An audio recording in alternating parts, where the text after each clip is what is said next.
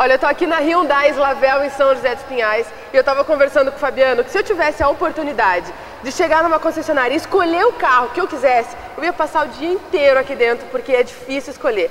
Todos os carros da marca são sensacionais e não é exagero da minha parte, eles são demais mesmo, né, Fabiano? Eles são lindos, né?